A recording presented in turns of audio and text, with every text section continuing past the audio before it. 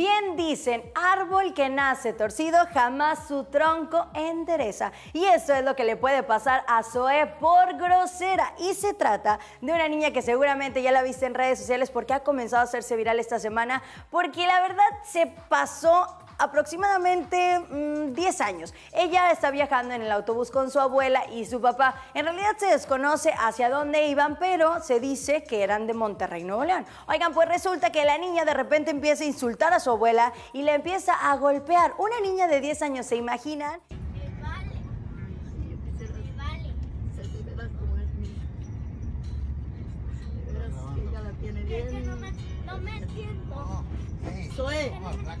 ¿Qué tiene, niña?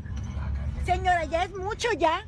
Ya. Si no la detiene, le voy a pegar yo, porque no tiene por qué venirme golpeando. ¿Por qué se meten los problemas? ¿En serio que estás enferma de la cabeza, criatura? No estoy enferma. Eh, sí estás mala de la cabeza, sí está. Sí está mala de la cabeza.